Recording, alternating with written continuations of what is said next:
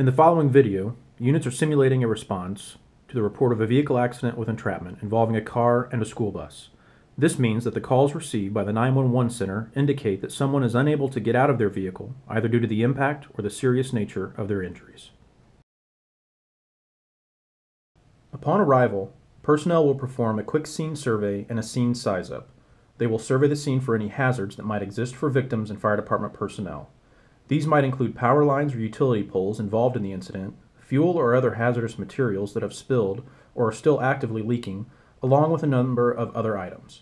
This information will be transmitted via radio to the Communications Center for other responding units as part of the complete scene size up. Along with hazard information, the size up information to be transmitted will include the number and type of vehicles, the number of potential patients, and will either confirm or deny the existence of anyone trapped in their vehicle. Transmitting this information across the assigned radio talk group paints a picture of the ongoing incident for personnel that have not yet arrived.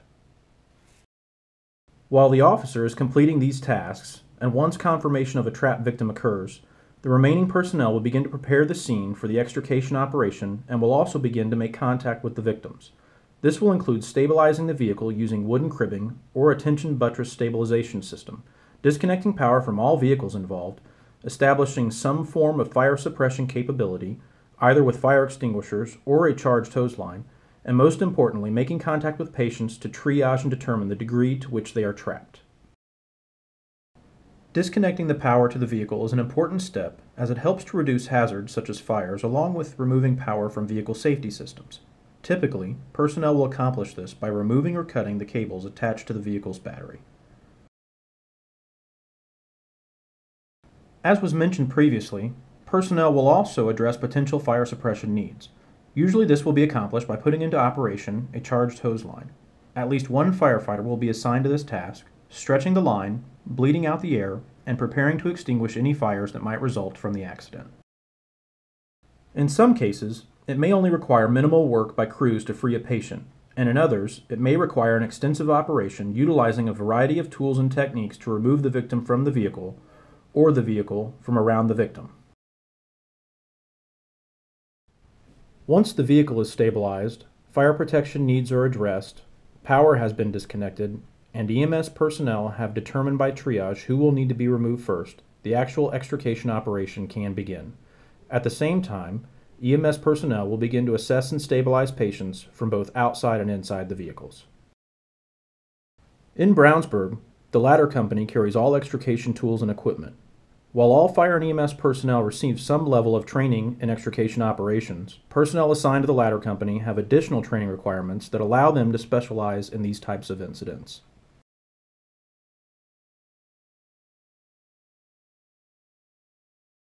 Another item that must be addressed as extrication operations begin is the removal of all remaining glass in the vehicle. Personnel do this so that the glass does not become a hazard later. Generally coordinated with this is the beginning of the process to systematically remove or displace parts of the vehicle. Doors will typically be removed first, utilizing hydraulic spreaders, commonly referred to as the jaws of life, along with hydraulic cutters, reciprocating saws, as well as a vast array of other tools.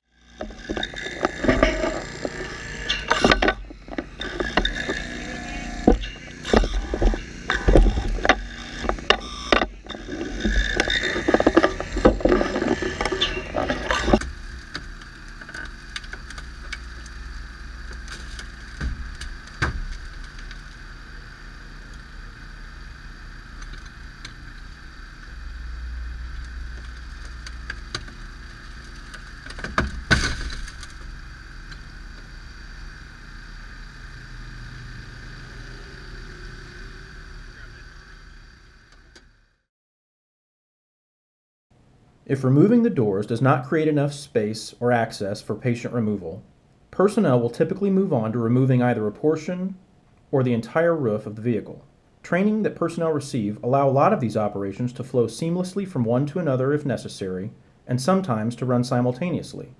As a side note, while personnel are operating tools, officers are constantly maintaining a watchful eye for the safety of personnel and patients.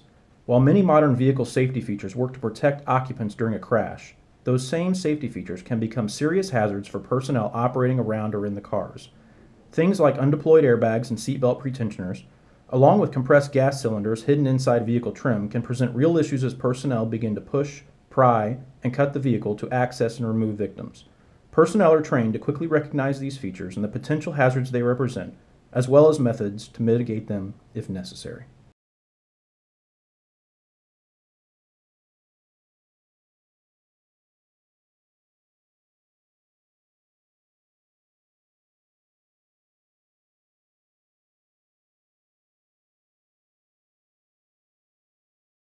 Once all of the victims are removed from the vehicle, personnel will place them in an ambulance, stabilizing and providing treatment as necessary, while transporting them to a hospital for definitive care.